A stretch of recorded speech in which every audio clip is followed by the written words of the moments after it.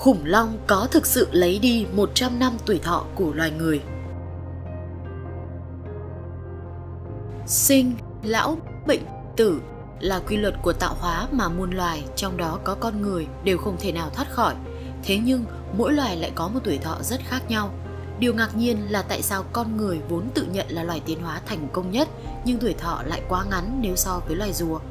Đây là một trong rất nhiều ý kiến tranh cãi về kết luận khủng long đã lấy đi của loài người 100 năm tuổi thọ của tiến sĩ Michael Hess ở Đại học Birmingham được công bố. Chi tiết về những nghiên cứu và công bố này là gì? Các bạn hãy cùng mình tìm hiểu ngay trong video này nhé! Không tồn tại song song, nhưng khủng long đã gián tiếp tác động đến tuổi thọ của loài người. Loài người có thể đã sống được đến tuổi 200 nếu không vì một sự kiện lấn át môi trường sống gây tắc nghẽn tuổi thọ xảy ra với các loài tổ tiên. Đó là những kết luận từ một nghiên cứu mới được dẫn đầu bởi tiến sĩ Joa Pedro de Megahes từ Đại học Birmingham, nước Anh. Điều này cho thấy loài người và nhiều loài cùng tổ tiên khác đã bị tước bỏ một số gen trường sinh. Theo Science Alert, một trang tin tức và ấn phẩm trực tuyến được điều hành độc lập xuất bản các bài báo về nghiên cứu khoa học, khám phá và kết quả thì cho biết điều này xảy ra với dòng dõi động vật có vú Eutheria, một trong hai nhánh của lớp thú đã được phân tách từ đầu kỷ phấn trắng hoặc cuối kỷ Jura. Eutheria là tổ tiên của loài người cùng vô số động vật khác vẫn đang tồn tại ngày nay. Makerhead phân tích, khi khủng long thống trị trái đất, các loài động vật có vú nhỏ hơn cần có khả năng sinh sản nhanh chóng để tồn tại. Điều đó có nghĩa là các gen có tuổi thọ cao hơn có thể đã bị loại bỏ khi quá trình tiến hóa. Cụ thể như sau, một số loài động vật có vú đầu tiên xuất hiện trên trái đất buộc phải sống ở cuối chuỗi thức ăn và có thể đã trải qua 105 triệu năm sống dưới bóng khủng long và chúng buộc phải chọn cách tiến hóa để tồn tại thông qua quá trình sinh sản nhanh chóng. Ông cho rằng khoảng thời gian dài sống trong áp lực tiến hóa đó đã tạo ra tác động vẫn còn dư âm đến cách con người chúng ta già đi ngày nay. Nghiên cứu này đã lưu ý rằng tổ tiên rất xa xưa của loài người trong dòng động vật có vú Eutherian dường như đã mất một số enzyme vào khoảng thời kỳ khủng long thống trị trái đất. Đây là những enzyme sửa chữa những tổn thương do tia cực tím gây ra. Điều thú vị là ngay cả thú có túi và thú đơn huyệt, những loài thú đời đầu vẫn còn những đặc tính sót lại của bò sát, cũng thiếu ít nhất một trong ba loại enzyme sửa chữa tia cực tím, được gọi là photolyse. Thật khó để nói liệu điều này có liên quan đến tuổi thọ tương đối ngắn của chúng ta hay không. Một khả năng về sự mất mát này là thời kỳ đó, động vật có vú sống chủ yếu về đêm để an toàn hơn. Về đêm, động vật săn mồi là những động vật máu lạnh như khủng long không hoạt động, nên động vật có vú sống về đêm lâu ngày không cần phát triển các gen chống lại ánh mặt trời. Hàng triệu năm sau, con người đang phải tự bù đắp điều đó bằng kem chống nắng. Đó là một ví dụ về cơ chế sửa chữa và phục hồi mà lẽ ra con người cũng có, nhưng ở tổ tiên xưa bị mai một bởi sống về đêm quá lâu. Ngoài ra, còn có những dấu hiệu khác, lấy răng làm ví dụ, một số loài bò sát gồm cả cá sấu có thể tiếp tục mọc răng trong suốt cuộc đời của chúng. Rõ ràng con người không thể như vậy một lần nữa, có lẽ đó là kết quả của quá trình chọn lọc di truyền có niên đại hàng trăm nghìn năm. Megahes cũng cho biết, Chúng tôi thấy những ví dụ trong thế giới động vật về khả năng sửa chữa và tái tạo thực sự đáng chú ý. Nhưng đối với những động vật có vú thời kỳ đầu, may mắn không trở thành thức ăn của khủng long bạo chúa, thông tin di truyền đó lại không cần thiết. Tất nhiên, một số loài động vật có vú cũng có khả năng sống trên một thế kỷ như cá voi và con người, nhưng đó là những trường hợp hiếm hoi, trong khi cá voi sống chủ yếu dưới nước nên thoát ánh mặt trời thì con người ở một dạng khác. Con người ngày nay có vẻ tăng độ tuổi sinh sản và tuổi thọ, nhưng thực ra đó là nhờ có y học và đạo lý người trẻ khỏe lao động nuôi người già yếu, can thiệp. Còn chỉ mới vài nghìn năm trước thì tuổi thọ của con người cũng rất thấp. Hiểu thêm về các yếu tố đằng sau sự lão hóa luôn hữu ích trong việc chống lại các bệnh liên quan đến tuổi tác như chứng mất trí nhớ và đột quỵ hay giả thuyết di truyền đằng sau, nút thắt cổ trai tuổi thọ có thể dạy chúng ta nhiều điều hơn ở đây. Chốt lại ở cuối bài công bố, Michael Hess nhận định Mặc dù hiện tại chỉ là một giả thuyết, nhưng có rất nhiều góc độ hấp dẫn để triển khai nghiên cứu sâu hơn. Chẳng hạn cơ chế ung thư xảy ra ở động vật có vú nhiều hơn các loài khác do quá trình lão hóa nhanh chóng. Sau khi bài công bố về nghiên cứu này được công bố thì đã có không ít ý kiến trái chiều, nhưng suy cho cùng, đây cũng chỉ là một giả thuyết khoa học có thể để tham khảo, còn đối với mình, 100 năm cuộc đời là quá đủ để chúng ta tận hưởng mọi thứ rồi. Nếu các bạn thấy video này hữu ích, hãy để lại một like, một subscribe và ấn chuông thông báo để không bỏ lỡ những video thú vị khác của nhóm chúng mình trong tương lai.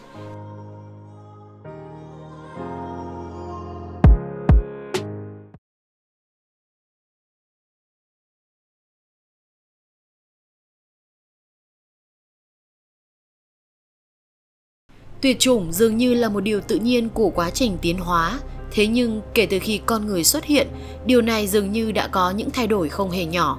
Mỗi loài đều có vị trí và vai trò nhất định trong tự nhiên mà loài khác không thể thay thế được. Chính vì thế mà con người cần đặc biệt quan tâm tới các loài sắp bị tuyệt chủng. Nhưng trước khi những sự quan tâm đó diễn ra thì chúng ta cần có một câu hỏi rằng con người có gây ra sự tuyệt chủng cho các loài trên trái đất hay không? Hãy cùng Uncheck share tìm hiểu ngay bây giờ bạn nhé. Nếu bây giờ có ai hỏi tôi rằng con người có gây ra sự tuyệt chủng của các loài trên trái đất hay không, thì câu trả lời chắc chắn là có rồi. Ông nào cãi nói không thì hãy để tôi ký đầu cho mấy cái.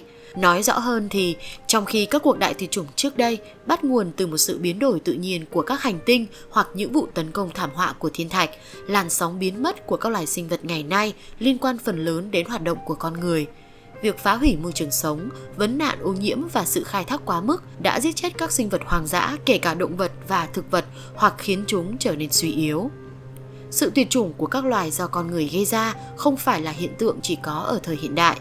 Nhà cổ sinh vật học Julian Hume tin rằng vấn đề này bắt đầu từ 125.000 năm trước, khi con người mới bắt đầu di chuyển ra khỏi châu Phi và di cư đến Á, Âu, Bắc Mỹ, Nam Mỹ và châu Đại Dương. Hồ sơ hóa thạch cho thấy số lượng của các loài động vật lớn tuyệt chủng ở những khu vực này đã tăng lên đáng kể trong hàng trăm đến một nghìn năm sau khi con người xuất hiện. Tốc độ tuyệt chủng đáng kinh ngạc như vậy có thể so sánh với sự tuyệt chủng của loài khủng long không phải chim do một tiểu hành tinh va vào trái đất 65 triệu năm trước. Con người di cư có khả năng coi động vật địa phương là thức ăn hoặc mối đe dọa. Tuy nhiên, những loài động vật này chưa bao giờ chạm trán với con người trước đây và do đó chúng cũng sẽ không nhận ra rằng con người là những kẻ săn mồi tiềm năng. Điều này khiến chúng đặc biệt sẽ dễ bị tấn công và loài người nhanh chóng lợi dụng điều này để săn bắt chúng. Ngoài ra, các đám cháy do con người gây ra đã phá hủy các khu vực sinh sống rộng lớn và tăng cường sự cạnh tranh đối với các loài động vật lớn để tìm kiếm thức ăn ở một số khu vực nhất định. Chẳng bao lâu, số lượng những con vật này đã giảm mạnh các loài động vật ăn cỏ lớn, chẳng hạn như tê giác lông dài và voi mammoth, không thể phục hồi sau sự suy giảm mạnh vì tốc độ sinh sản của chúng chậm hơn rất nhiều so với các loài động vật nhỏ. Và chúng không còn cách nào khác là phải di chuyển khỏi môi trường sống của mình. Nhưng vào thời điểm đó, hầu như không có nơi nào trên trái đất mà con người chưa từng đặt chân đến.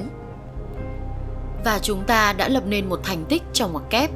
Trong một thời gian rất ngắn, sau khi con người khai phá những vùng đất mới mẻ này, đã có từ 74% đến 86% các loài động vật lớn có trọng lực cơ thể từ trên 44 kg ở đây bị tuyệt chủng mà một trong những nguyên nhân trực tiếp là do việc săn bắt và gián tiếp do việc đốt phá rừng. Một con số quá khủng khiếp phải không các bạn? Sự tuyệt chủng của các loài chim, thú được nghiên cứu nhiều và dễ nhận biết. 99% sự tuyệt chủng của các loài khác trên thế giới hiện nay chỉ là những dự báo sơ bộ Mặc dù vậy, ngay cả với các loài thú và chim, những số liệu về sự tuyệt chủng cũng không có những con số chính xác. Một số loài đã được xem là tuyệt chủng vẫn được phát hiện lại và một số loài tưởng như vẫn còn tồn tại thì rất có thể đã bị tuyệt chủng. Là loài động vật thông minh nhất hành tinh, con người có thể liên tục học hỏi, tìm ra những cách mới để giải quyết vấn đề, đồng thời phản ánh và đánh giá sâu sắc công việc của chính mình. Đây chỉ là một vài khía cạnh xác định vị trí thông minh của con người – trên thực tế, con người cứ lặp đi lặp lại những sai lầm của quá khứ. Những hành động ấy đã khiến cho nhiều loài tuyệt chủng, điển hình có thể kể đến như hà mã Madagascar đã tuyệt chủng cách đây 1.000 năm, hay loài chim Moa ở New Zealand đã tuyệt chủng cách đây 600 năm và loài chim bồ câu lữ khách đã hoàn toàn biến mất từ 106 năm trước hay chim đu đu cũng được xác định bởi biến mất hoàn toàn trong khoảng thời gian tương tự. Theo thống kê, khoảng 85 loài thú và 113 loài chim đã bị tuyệt chủng từ năm 1600, tương ứng với 2,1% các loài thú và 1,3% các loài chim. Tốc độ tuyệt chủng đối với các loài thú và chim là khoảng một loài trong 10 năm tại thời điểm từ 1600 đến 1700, nhưng tốc độ này tăng dần lên đến một loài một năm vào thời gian từ 1850 đến 1950. Rất nhiều loài về nguyên tắc vẫn chưa bị tuyệt chủng nhưng đang tiếp tục là đối tượng săn bắt của con người và chỉ tồn tại với một số lượng rất ít như tê giác, hổ và đáng buồn thay trong số đó có Việt Nam.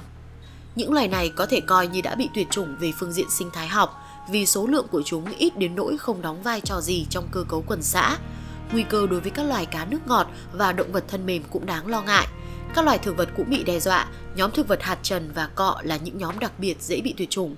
Sự tuyệt chủng đáng ra chỉ là một quá trình tự nhiên, nhưng 99% số loài bị tuyệt chủng chủ yếu là do con người gây ra. Trong lịch sử các thời kỳ địa lý trước đây, đa dạng sinh học tương đối ổn định nhờ sự cân bằng giữa sự tiến hóa hình thành của loài mới và sự tuyệt diệt loài cũ. Tuy vậy, những hoạt động của con người đã làm cho tốc độ tuyệt chủng vượt xa nhiều lần tốc độ hình thành loài. Sự mất mát của các loài xảy ra như trong thời gian hiện nay đã không theo bất cứ một quy luật nào và hậu quả trong tương lai là khôn lường, không thể nào cứu vãn nổi. Theo thống kê từ đầu thế kỷ 20, mỗi năm có một loài sinh vật bị tuyệt chủng. Trong những năm của thập kỷ 80, mỗi giờ có một loài sinh vật bị biến mất. Dự đoán trong thế kỷ tới sẽ có khoảng 50 vạn đến 1 triệu loài sinh vật không còn có mặt trên trái đất. Rõ ràng là sự tuyệt chủng của các loài sinh vật đang gia tăng. Trên thế giới đã có những công ước quốc tế về bảo vệ đa dạng sinh học, bảo vệ động thực vật quý hiếm có tên trong sách đỏ. Ở Trung Quốc, cách đây không lâu đã có người từng bị lĩnh án tử hình chỉ vì giết gấu mèo. Mỗi loài động thực vật đều là sản phẩm của một quá trình tiến hóa rất lâu dài. Trong quá trình đó, mỗi loài đã tự tích lũy cho riêng mình những gen chống chịu với bệnh tật, với sự thay đổi khí hậu và các điều kiện sống khác nhau. Do đó, các sinh vật hoang dại đều khỏe mạnh, khó bị bệnh tật tiêu diệt và có khả năng thích nghi cao. Đó là những ngân hàng gen sống quý hiếm. Điều kiện sống thay đổi liên tục. Nếu để mất đi bất cứ một loài nào thì thiên nhiên sẽ không bao giờ có thể tái tạo lại được kiểu gen riêng của loài đó mỗi sinh vật có một vai trò nhất định trong hệ sinh thái, là một mắt xích khép kín chu trình tuần hoàn vật chất của hệ. Hệ càng có nhiều loài, càng đa dạng thì càng bền vững. Mất đi một loài là giảm tính đa dạng sinh học của cả hệ, làm cho đời sau không còn được chiêm ngưỡng chúng một cách sống động nữa. Mỗi sinh vật ẩn chứa trong mình rất nhiều bí ẩn mà đời nay chưa thể khám phá ra hết được lòng tham và sự coi thường của môi trường ở con người đã dẫn đến sự tuyệt chủng của nhiều loài con người có thể quy những sai lầm trong quá khứ là do thiếu kiến thức hoặc hiểu biết về sự cân bằng mong manh của hệ sinh thái. Hơn 35.500 loài giờ đây đã nằm trong danh sách đỏ các loài bị đe dọa của Liên minh Bảo tồn Thiên nhiên Quốc tế IUCN. Mặc dù mục đích của việc lập danh sách này là để ngăn chặn các loài tuyệt chủng, nhưng ở một mức độ nào đó, nó đã trở thành một danh sách tiêu chuẩn quốc tế về các loài đã tuyệt chủng là loài động vật thông minh nhất hành tinh, đã đến lúc loài người phải đứng lên và chung tay bảo vệ sự đa dạng sinh học của hành tinh. Vì vậy, làm mất đi một loài là chúng ta đã làm cho đời sau mất đi một đối tượng để nghiên cứu, mất đi một hình mẫu lý tưởng để mô phỏng theo. Con người cần phải chịu trách nhiệm về vai trò của mình trong việc tuyệt chủng các loài này. Hiểu biết cặn kẽ về cách các hoạt động của con người ảnh hưởng đến hệ sinh thái sẽ là bước đầu tiên đi theo hướng này.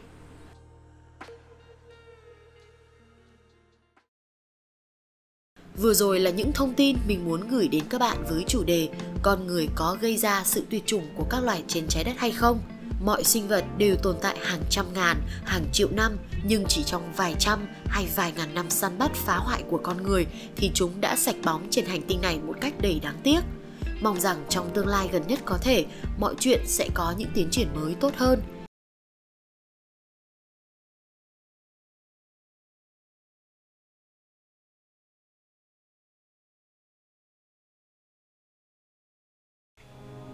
Trải qua hàng tỷ năm phát triển, trái đất đã chứng kiến sự xuất hiện, phát triển cực thịnh rồi đi đến diệt vong của nhiều hệ sinh vật đặc trưng của từng kỷ địa chất. Tuy đã không còn tồn tại từ rất lâu, nhưng thông qua phim ảnh, tài liệu, có không ít loài động vật tiền sử đã trở nên quen thuộc với chúng ta, đặc biệt là khủng long, voi ma mút, chim đu đu, hổ Tasmania hay hổ răng kiếm. Trong số này, có loài thì bị tuyệt chủng do sự biến đổi của môi trường, do thảm họa tự nhiên một số khác thì chính con người lại là một tác nhân không nhỏ. Việc các sinh vật chỉ được nhìn thấy qua các kỹ thuật đồ họa, tranh ảnh bỗng dưng xuất hiện giữa thế kỷ 21 có lẽ sẽ khiến không ít chúng ta cảm thấy thực sự phấn khích và mong đợi. Tuy nhiên, bạn đã bao giờ suy nghĩ một cách nghiêm túc về ảnh hưởng đến thế giới sống hiện tại nếu những kẻ làm chủ trái đất thời tiền sử này quay trở lại? Những sinh vật thời tiền sử đã tồn tại trong thế giới khác, môi trường sống và điều kiện mà chúng ta hiện đang rất xa lạ. Trong video ngày hôm nay, chúng ta sẽ khám phá những mối đe dọa chưa rõ ràng từ mất cân bằng sinh thái đến bệnh tật và viêm nhiễm cùng với sự tiến hóa với câu hỏi rằng hồi sinh loài đã tuyệt chủng, liệu con người có đang cố đóng vai tạo hóa? Phát hiện sinh vật tiền sử những lý do đầu tiên xuất phát từ việc các nhà khảo cổ học phát hiện được xác của các loài động vật thời tiền sử. Trong những năm gần đây, khi hiện tượng nóng lên toàn cầu ngày càng gia tăng, băng ở Bắc Cực bắt đầu tan nhanh chóng. Tình trạng này không chỉ đáng lo ngại mà còn là cơ hội quý giá cho các nhà cụ sinh vật học và khảo cổ học. Khi băng ở Bắc Cực tan, họ phát hiện ra một điều đáng kinh ngạc. Đúng vậy, đó là xác của các sinh vật thời tiền sử. Sinh vật thời tiền sử luôn là một trong những chủ đề nhận được rất nhiều sự quan tâm. Trước đây, chúng ta chỉ có thể dựa vào những hóa thạch và tàn tích của các sinh vật cổ đại để suy ra tình trạng đặc điểm sinh học của chúng. Nhưng ở thời điểm hiện tại, thông qua việc phát hiện xác của các sinh vật thời tiền sử do băng bắc cực tan chảy, chúng ta có thể tìm hiểu một cách trực quan hơn những sinh vật cổ đại thực sự có hình dạng trông như thế nào. Xác của những sinh vật thời tiền sử này được bảo quản tốt một cách đáng kinh ngạc, phần lớn nhờ vào nhiệt độ thấp và điều kiện đóng băng ở Bắc Cực. Bằng cách nghiên cứu những xác chết này, các nhà khoa học có thể xác định chính xác giống loài, tuổi và thậm chí cả đặc điểm sinh học của một số cá thể nhất định thông qua phân tích DNA, xác định niên đại bằng carbon phóng xạ và các phương tiện kỹ thuật khác. Một trong những khám phá đáng kinh ngạc nhất là các nhà khoa học đã phát hiện ra xác của một sinh vật có hình dạng rất giống con người hiện đại, được gọi là người sông băng. Khám phá này đã có tác động sâu sắc đến sự hiểu biết của chúng ta về nguồn gốc và sự tiến hóa của loài người. Sau nhiều nghiên cứu, các nhà khoa học đã phát hiện ra rằng gen của những người cổ đại này rất giống với người hiện đại. Con người hiện đại có thể có nguồn gốc sớm hơn nhiều so với những thông tin trước đây. Phát hiện này đã thu hút sự chú ý rộng rãi của giới học thuật và thúc đẩy các nhà nghiên cứu đánh giá lại các lý thuyết về nguồn gốc và sự tiến hóa của loài người. Các nhà khoa học cũng đã phát hiện xác của nhiều sinh vật thời tiền sử khác ở vùng băng Bắc Cực như voi ma mút, gấu mặt ngắn. Những phát hiện này cung cấp cho chúng ta những thông tin vô cùng giá trị. Qua nghiên cứu chúng, chúng ta có thể hiểu được đặc điểm, tập quán sinh hoạt và môi trường sinh thái của các loài động thực vật cổ xưa thời bấy giờ. Điều này có ý nghĩa to lớn trong việc khôi phục cảnh quan sinh thái trên trái đất cổ xưa và bảo vệ đa dạng sinh học hiện đại. Và các nhà khoa học đang rất muốn hồi sinh lại chúng thông qua các dự án nghiên cứu kéo dài hàng chục năm. Họ sẽ hiện thực hóa điều đó như thế nào? Trên thực tế, viễn cảnh tưởng chỉ có trong phim này được thực hiện hóa đang đến gần hơn so với suy nghĩ của chúng ta rất nhiều, chính nhờ sự phát triển như vũ bão của khoa học kỹ thuật. Tuy nhiên, cũng cần thông báo với bạn một tin buồn rằng trong tương lai gần mà các sinh vật tiền sử được hồi sinh thì khủng long chính là cái tên vắng bóng. Nguyên nhân xuất phát từ độ bền của các ADN, nhân tố cốt yếu nếu muốn hồi sinh bất kỳ sinh vật nào. Các nhà khoa học cho biết đoạn mã di truyền này sẽ không đọc được sau thời gian 1,5 triệu năm, trong khi loài khủng long lại bị tuyệt chủng từ cách đây đến 65 triệu năm. Đối với các loài động vật mà đoạn ADN tìm thấy vẫn nằm trong khoảng thời gian còn giá trị sử dụng như hổ răng kiếm hay voi ma mút thì phương pháp để mang chúng trở lại với sự sống được coi là khả thi nhất hiện nay chính là công nghệ chỉnh sửa hệ gen. Nói một cách dễ hiểu, các nhà khoa học sẽ tách lấy ADN từ trong bộ phận cơ thể như da, máu của các động vật này, vốn thường được tìm thấy trong điều kiện bảo quản khá tốt dưới những lớp băng Phần ADN sau khi tách chiết sẽ được kết hợp với ADN của một họ hàng gần của loài đó mà hiện nay vẫn còn đang tồn tại. Cũng theo các chuyên gia, cái tên triển vọng nhất cho nhiệm vụ này chính là voi ma mút. Có lẽ bạn sẽ ngạc nhiên khi biết rằng một nhóm voi ma mút nhỏ vẫn còn tồn tại ở thời điểm mà người Ai Cập đã xây dựng kim tự tháp, cụ thể là khoảng 3.600 năm trước. Cũng dựa vào công nghệ gen vừa đề cập ở trên, ADN của voi ma mút sẽ được kết hợp với các loài voi hiện đại như voi châu Á, từ bộ gen đã được lập trình lại này, chúng ta có thể tạo phôi và sau đó tiến hành biện pháp nhân bản vô tính, tương tự như cách đã thực hiện thành công ở một vài loài động vật. Đương nhiên, vì vật chất di truyền có sự kết hợp của hai loài nên chú voi con sinh ra mới chỉ dừng lại ở một thể lai. Kế đó, công nghệ chỉnh sửa gen này sẽ tiếp tục được thực hiện lặp đi lặp lại trên các thể lai với mục đích chèn càng nhiều ADN của voi mammut và ADN kết hợp này càng tốt – Trải qua nhiều thế hệ, khi ADN của voi hiện đại gần như bị thay thế hết bởi ADN voi ma mút, chúng ta sẽ có được một chú voi ma mút 99,99%. ,99%. Sau những phân tích trên thì câu hỏi đặt ra là liệu họ có thật sự hồi sinh được loài hay không? Về ý kiến của các chuyên gia, nhà khoa học thì có vẻ như họ có thể chia rẽ 50-50. Có những người tin rằng đó là một mục tiêu theo đuổi xứng đáng, một mục tiêu sẽ dẫn đến các công nghệ bảo tồn mới và nâng cao nhận thức của con người về các loài còn sống để chúng ta có thể bảo vệ chúng tốt hơn nhưng lại có một số người tiêu cực hơn. Họ tin rằng hồi sinh loài chỉ đơn giản là một màn trình diễn, một mánh khóe truyền thông phi đạo đức. Họ khẳng định các nhà khoa học liên quan đang làm tất cả vì sự chú ý của giới truyền thông và mô tả công việc này là bất khả thi về mặt kỹ thuật. Họ nói rằng tuyệt chủng là mãi mãi và không gì có thể thay đổi được điều đó.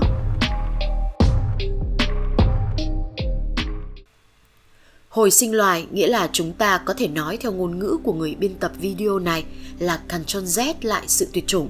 Đảo ngược hậu quả đó, nhưng thuật ngữ này gây hiểu lầm, nó thiếu sắc thái và nó thậm chí còn là một vấn đề trong các tài liệu khoa học.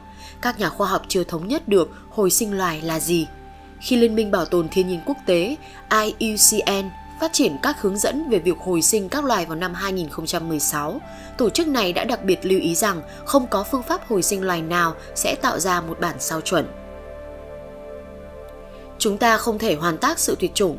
Trên thực tế, tài liệu hướng dẫn của IUCN thậm chí không sử dụng từ hồi sinh loài trong tiêu đề của nó. Nó được gọi là nguyên tắc hướng dẫn về việc tạo proxy của các loài đã tuyệt chủng vì lợi ích bảo tồn và đề xuất rằng proxy tạm dịch là các loài ủy nhiệm là một cách tốt hơn nhiều để định nghĩa các loài mà chúng ta sẽ hồi sinh. Gần đây cũng có một dự án hồi sinh hổ Tasmania Tuy đây không phải là loài tuyệt chủng ở thời tiên sử, nhưng mình sẽ lấy để làm ví dụ. Vì loài này sống khá gần chúng ta, đây là một dự án được tài trợ đầy đủ của Colossal về hổ Tasmania và voi ma mút lông xoăn đều tuân theo ý tưởng này, ngay cả khi hoạt động marketing của họ nói khác. Công ty và các cộng tác viên sẽ không thể tạo ra một bản sao di truyền chính xác của các loài động vật từng ngao du trên trái đất. Dự án tương tự ở Revive và Restore cũng không làm việc để hồi sinh bồ câu viện khách. Colossal và nhóm nghiên cứu của mình tại Đại học Melbourne đã cho rằng điều này có thể xảy ra trong khoảng một thập kỷ đối với hổ Tasmania, thậm chí có thể sớm hơn đối với voi mammut. Những mốc thời gian đó có vẻ lạc quan khá mức với những rào cản kỹ thuật vẫn còn tồn tại, nhưng không phải bất khả thi. Mục tiêu của Colossal là cuối cùng thả những con thú có túi giống hổ Tasmania họ đã tạo ra về đảo Tasmania và những con ma mút lai vào lãnh nguyên Bắc Cực. Các nhà nghiên cứu nói rằng việc này sẽ mang lại lợi ích cho hệ sinh thái và hành tinh, nhưng có rất nhiều câu hỏi cần trả lời trước khi chúng ta đạt được dấu mốc đó. Đó là lý do tại sao chúng ta cần tiếp tục quay lại cuộc nói chuyện ngạo mạn hay hy vọng của Greeley. Trong đó, ông đưa ra cả những rủi ro tiềm ẩn và lợi ích của việc đưa các loài đã tuyệt chủng trở lại. Vậy những rủi ro tác hại đó là gì? Hãy cùng tìm hiểu ngay bây giờ nhé! Mất cân bằng sinh thái các sinh vật thời tiền sử có thể gây ra sự mất cân bằng trong hệ sinh thái hiện đại nếu chúng được giải phóng vào tự nhiên mà không có quản lý.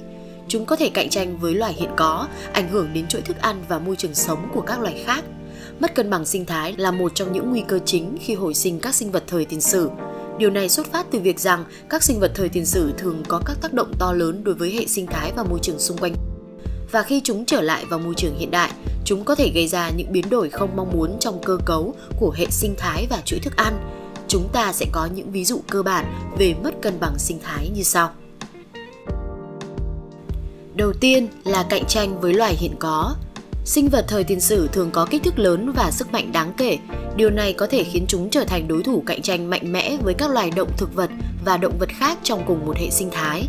Điều này có thể gây ra sự áp đảo của sinh vật thời tiền sử và ảnh hưởng đến sự tồn tại của các loài khác. Thứ hai là thay đổi chuỗi thức ăn. Sinh vật thời tiền sử có thể thay đổi cơ cấu chuỗi thức ăn trong hệ sinh thái bằng cách tác động đến loài mà chúng săn mồi hoặc ăn. Điều này có thể dẫn đến giảm sự đa dạng của loài và ảnh hưởng đến cân bằng tự nhiên của hệ sinh thái. Thứ ba là thay đổi môi trường sống. Sinh vật thời tiền sử có thể ảnh hưởng đến môi trường sống của hệ sinh thái thông qua việc xây dựng tổ hoặc tạo ra các cấu trúc khác. Điều này có thể gây ra biến đổi không mong muốn trong cảnh quan môi trường và ảnh hưởng đến loài động thực vật và hệ sinh thái khác. Ví dụ cụ thể về mất cân bằng sinh thái có thể bao gồm việc hồi sinh một loại khủng long ưa thích cây ăn thảm. Khi nó trở lại vào môi trường hiện đại, Nó có thể gây ra mất cân bằng trong hệ sinh thái bằng cách tiêu diệt quá nhiều cây ăn thảm, dẫn đến giảm số lượng cây này và ảnh hưởng đến loài ăn thảm khác và cảnh quan môi trường tự nhiên. Điều này có thể tạo ra tác động lan truyền và dẫn đến sự thay đổi không mong muốn trong cơ cấu của hệ sinh thái. Do đó, mất cân bằng sinh thái là một trong những vấn đề quan trọng cần được xem xét và quản lý một cách cẩn thận khi xem xét việc hồi sinh các sinh vật thời tiền sử. Không thể thích nghi vì sự tiến hóa. Sinh vật thời tiền sử đã tương thích với môi trường và điều kiện sống của thời đại của chúng. Khi đưa chúng trở lại môi trường hiện đại, chúng có thể không thích nghi được hoặc cần phải trải qua quá trình tiến hóa để tồn tại. Điều này có thể tạo ra nhiều khả năng không mong muốn. Sự tiến hóa là một khía cạnh quan trọng cần xem xét khi hồi sinh các sinh vật thời tiền sử vì nó liên quan đến khả năng của các loài thích nghi và thay đổi trong môi trường sống của chúng qua hàng triệu năm. Khi các sinh vật thời tiền sử trở lại vào môi trường hiện đại, có thể gặp phải thách thức về khả năng thích nghi do đã có sự thay đổi đáng kể trong môi trường và điều kiện sống. Sinh vật thời tiền sử đã phát triển hình dáng và kích thước phù hợp với môi trường sống của chúng. Khi chúng trở lại vào môi trường hiện đại, hình dạng và kích thước của chúng có thể không phù hợp hoặc không thích nghi tốt, dẫn đến sự không thích nghi với môi trường và gặp khó khăn trong việc tìm kiếm thức ăn. Các sinh vật có thể có thói quen hành vi riêng dựa trên môi trường sống của họ. Khi chúng trở lại vào môi trường hiện đại, chúng có thể không hiểu hoặc không thích nghi với cách con người và các loài khác trong hệ sinh thái hiện đại hoạt động. Điều này có thể tạo ra xung đột và tác động không mong muốn. Sự tiến hóa cũng liên quan đến khả năng sinh vật thời tiền sử tương tác với các loài khác trong hệ sinh thái. Khi chúng trở lại vào môi trường hiện đại, chúng có thể cạnh tranh hoặc tạo ra sự cạnh tranh với các loài hiện có, dẫn đến sự cạnh tranh cho thức ăn, không gian sống và tài nguyên. Mối đe dọa đến con người trong suốt lịch sử loài người, những cuộc gặp gỡ với các sinh vật thời tiền sử luôn là một chủ đề hấp dẫn. Cuộc đối đầu giữa người cổ đại và các sinh vật thời tiền sử như khủng long, quái thú khổng lồ từ lâu đã trở thành một phần của truyền thuyết và thần thoại.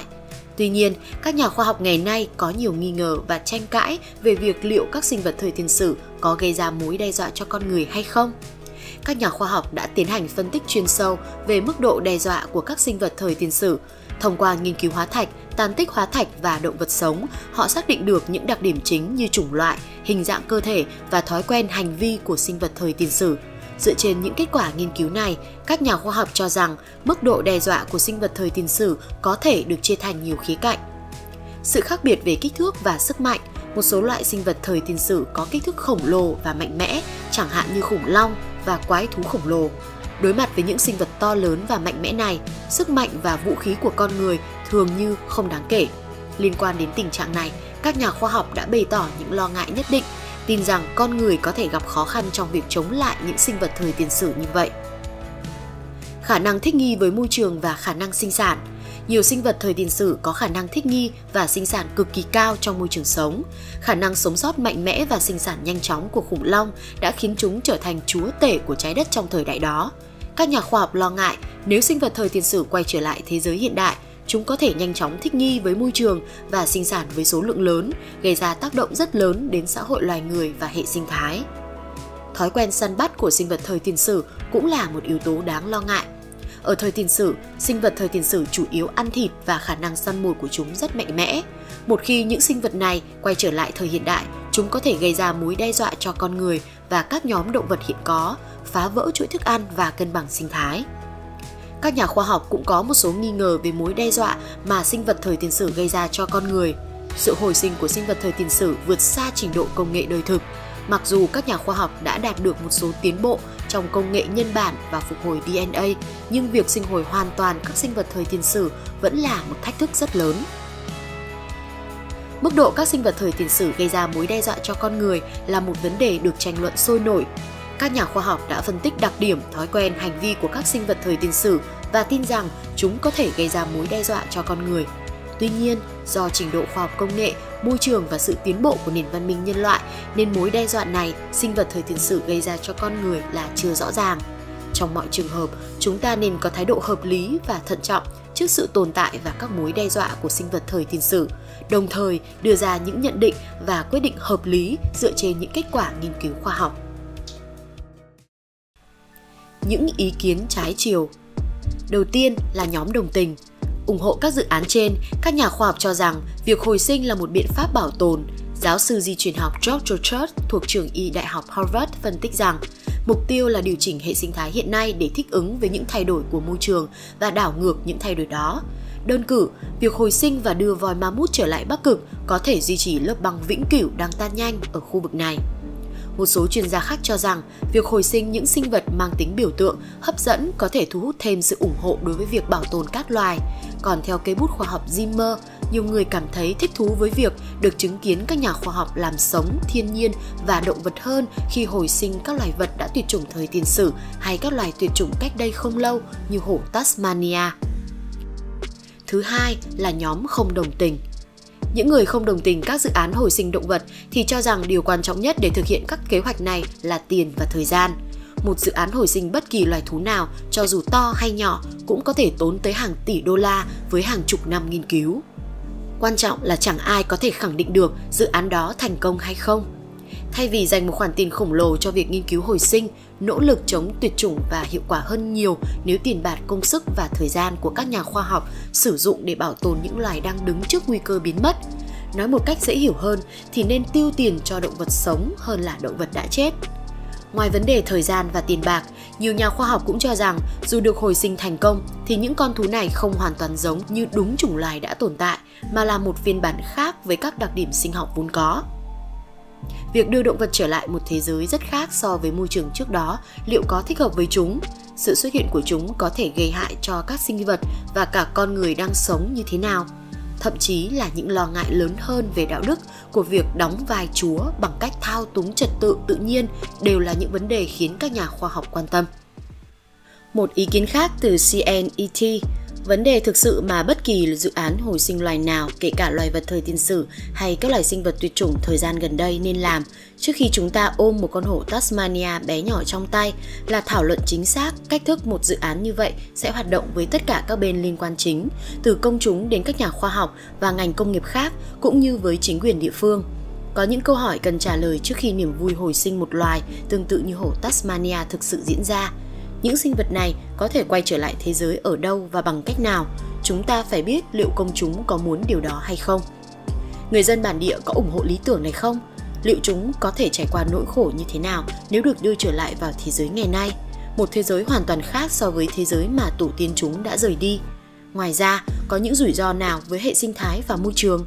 Sau cùng sự sống của một loài không chỉ là trò chơi cố gắng đóng vai tạo hóa của con người mà nó còn quá nhiều biến số để chúng ta phải hết quan tâm những tranh luận từ hai phía đều hợp lý, cho nên câu hỏi liệu có nên hồi sinh động vật đã tuyệt chủng sẽ không được giải đáp cho đến khi loài sinh vật đầu tiên được hồi sinh thành công.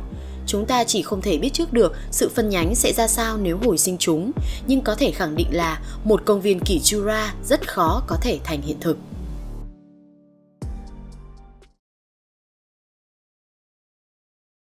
Qua những phân tích bên trên, các bạn có cảm nghĩ như thế nào về các dự án mang động vật tuyệt chủng trở lại với thế giới không?